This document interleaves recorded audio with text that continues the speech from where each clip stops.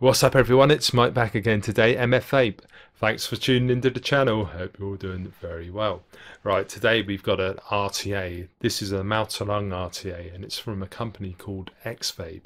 It's called the Expromizer version 3 Fire. Now this one is 22 millimeters in diameter and it's about 7 inches in length. And I've got the polished stainless version here so it's quite a nice look at this one, albeit a little bit tall. Now I've got the 4 milliliter capacity, it does come in a 2 mil as well. And we've got it sitting on top of the Nunchaku single 18650 regulated device.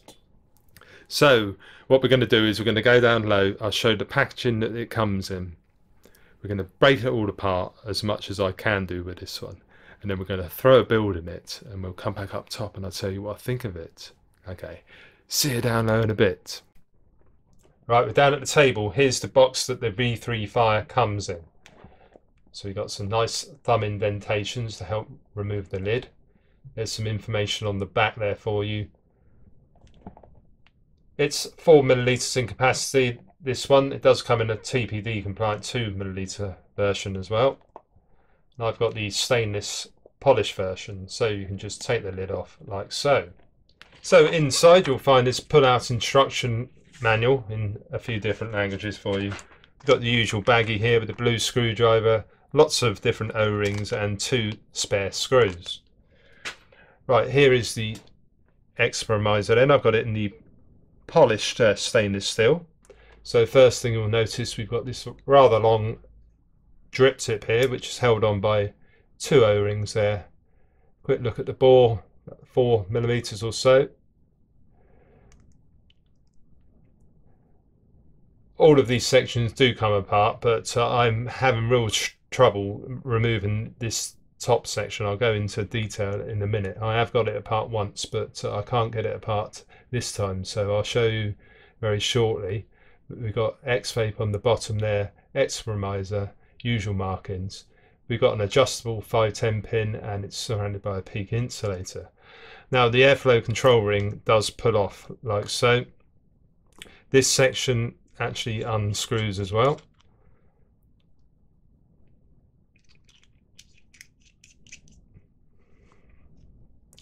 So it's a good idea to put a few drops of e-liquid on these O-rings to help uh, assist you.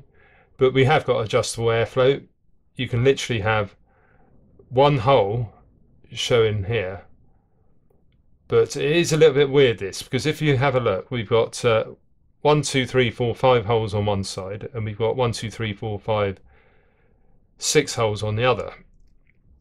So let's just show you here. So you can have it just with one hole on one side but if you start going up and you start having one on one side and two on the other, so it's a little bit confusing really because you can't have the smallest hole on both sides. But if we just go this way round, you can start having like the biggest hole on one side and then you can have two holes, three holes, which is the same, and you can have all five open on both sides.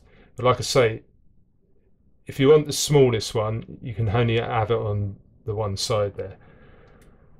But uh, anyway, let's take the base off. So we have got this nice knurled section here.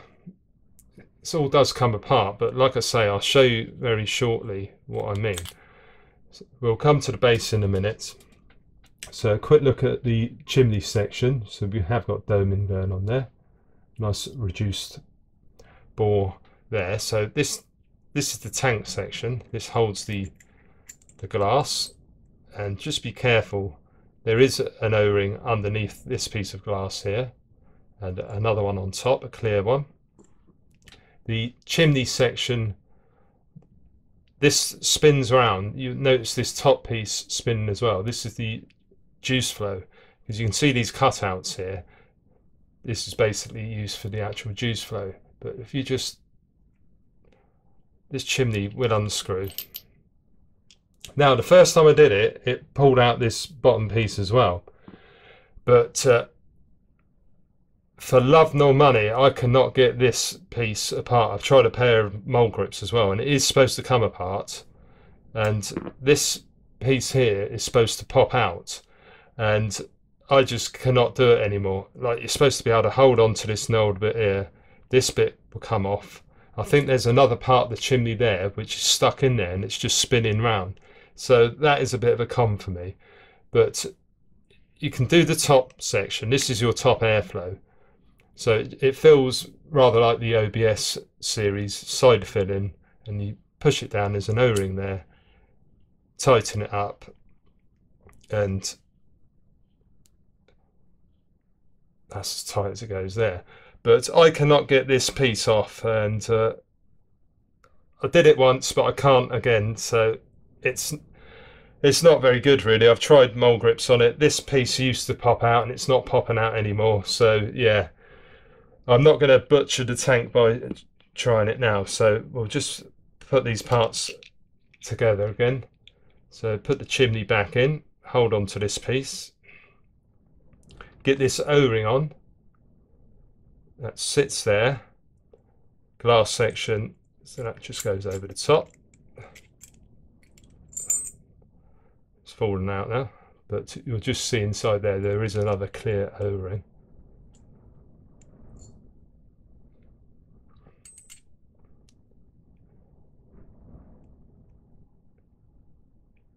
Try it like that.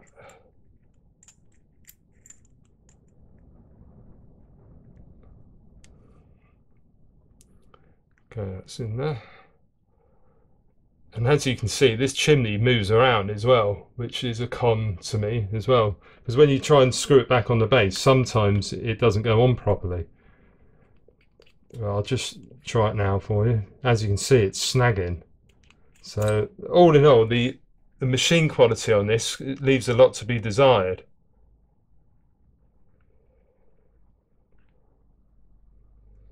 Try and line this up.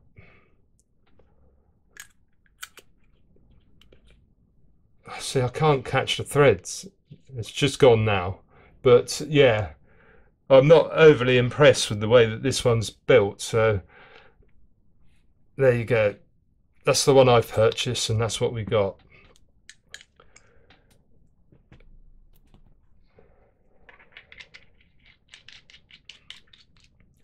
So we'll have a look at the base now. There you can see we got the three juice inlet holes so this is where the cotton goes. We've got the usual Mauter style build deck. So you've got one screw on either side. Got the positive block and the negative block this side. This is your positive block. We've got about two and a half millimeter airflow insert. Now there's no spare inserts with mine, so that's the restriction you're going to be playing with. So we'll put a little build in it now.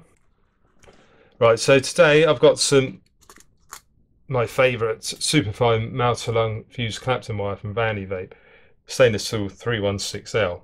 It's uh, 30 gauge times 2 plus a 38 gauge wrap. Right, so we've got got our coil here. You've just got to try and trap it underneath the screw, which isn't the easiest thing to do in all honesty, especially with this wire because it's claptoned. I'll just raise it slightly. Right, usually I would recommend using the, the coily tool, but with this particular deck, I think it's easier to do what I've done there. You twist it round the actual post and then snip afterwards. Right, we've got it on our mod. It's coming out at 0.59. This Artery Nugget does read a little bit low normally bed the coils in.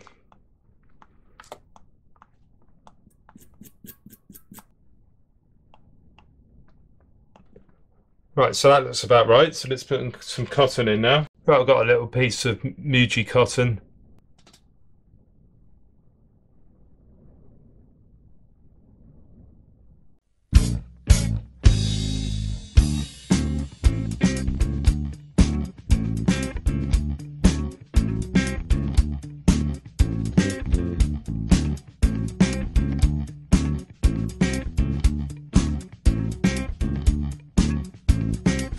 Think I'm lazy and a little crazy. Could it not be the way that you made me? Stolen my heart, my heart and my soul. Just because you like to be in control. Excitement is what it's all concerning. If you're scared, then it's time for. T- Right, the juice I'm using some homemade blackcurrant from Dark Star Vapor, five milligrams. Right, just putting it on the artery nugget because the artery was playing up a little bit. So we got 0.59. Right, so that's that then. So we can now put the the rest of it together. Let's just put a little bit of juice around here. Make life a little bit easier.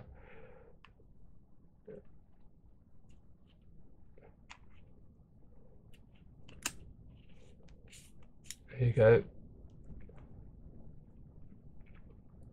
Right, and now to fill it up, grab hold of this section, turn it around a few times, it exposes the fill port. So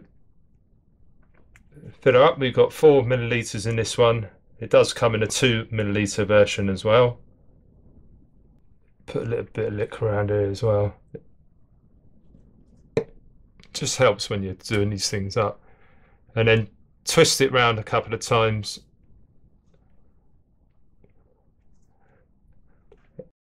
Right, it's all right. I haven't forgotten about the juice flow control. Well, I had, but I'm doing it now for you instead. But when you've put your e-liquid in, make sure that the actual this piece here is shut. Now, it would have been good if they had actually made it so you can see it visibly within the glass window here. But when you put the e-liquid in, you can just twist it round this top piece here, and you can have either one, two, or all three holes exposed. But like I say, half of it's hidden by this uh, outer section here. So yeah, another little quirk with this device. But when you want to go and fill it, you just shut off all of the holes and that way that you will not flood the deck. Then you're good to go. So let's go back up top and I'll tell you what I think about it.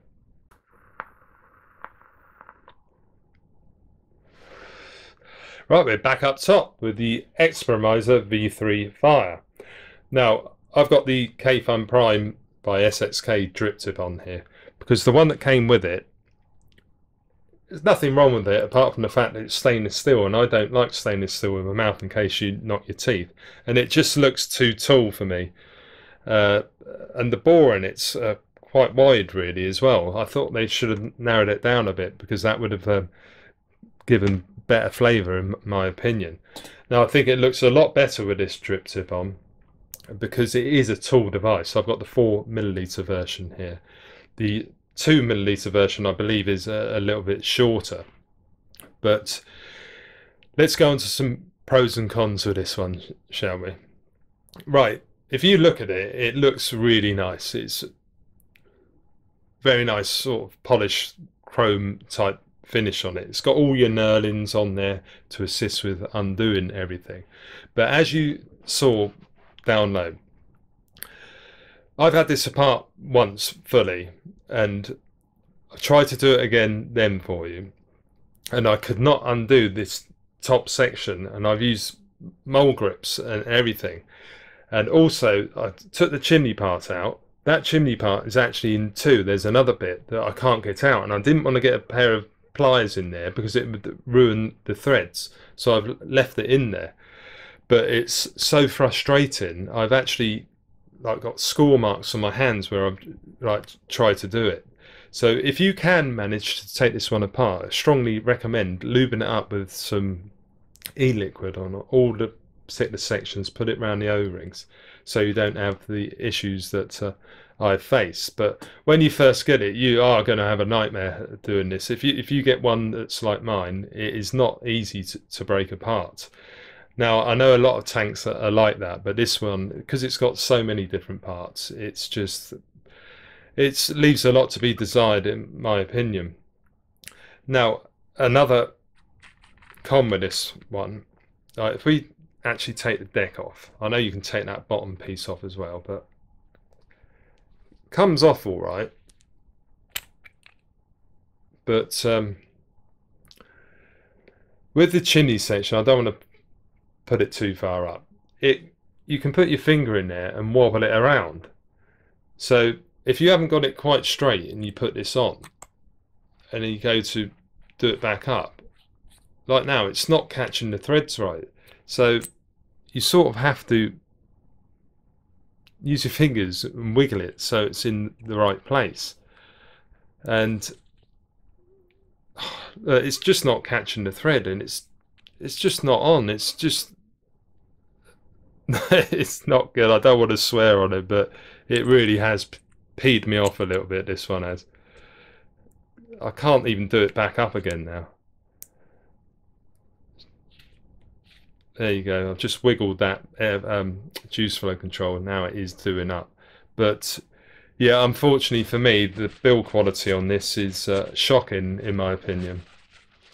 For an RTA that retails forty nine ninety nine, forty nine dollars ninety nine, it I don't know if I've got a duff on. Maybe I have, but um, yeah, I'm just not happy with the actual build quality. You should be able to take it all apart without any dramas.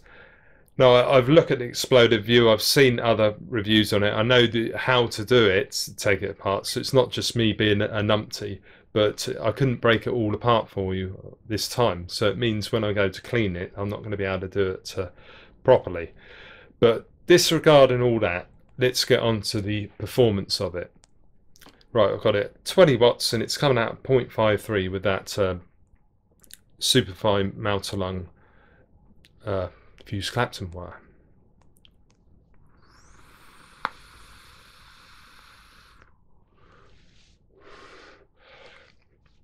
Right, one airflow hole open on either side, the, the largest hole, and it's perfect restriction for me. The airflow's quite smooth in that particular mode, and the flavour is really good. Now, try and adjust it. It's quite hard to undo the airflow with it on the mod as well. In fact, I'm going to have to take it off. Right, for all you... I've lubed up this as well, this airflow control ring. It's probably better to take it off and then put it back on. Let's try and get it in the mouth-to-lung mode. Right, we've just got the... Where is it? The smallest hole open now. So this is the tightest restriction you're going to get. Now the actual bore of the airflow is about 2.5 on. There's no inserts that come with it. So this is what we got.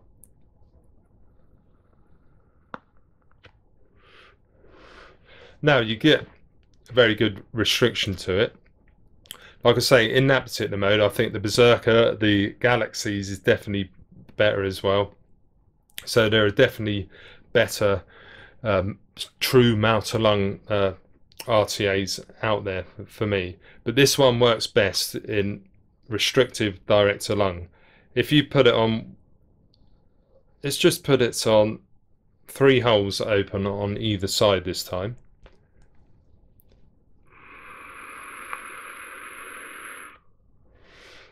So as you can see um, here, it's really loud and it's a little bit turbulent as well. I'm just going to put the wattage up a little bit more, 24 watts.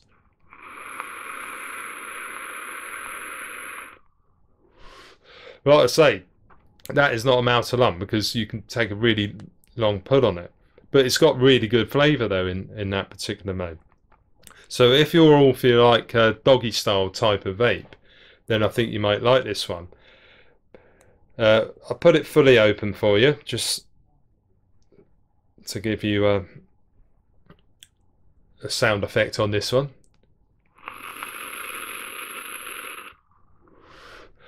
Just sounds turbulent, the flavour diminishes, and it's just not very pleasurable. So for me, one, the largest hole on either side open is the perfect vape for me. But for me, that uh, Vandy Vape fused Clapton wire actually works really well because, like I say, this is more like a very restrictive direct lung.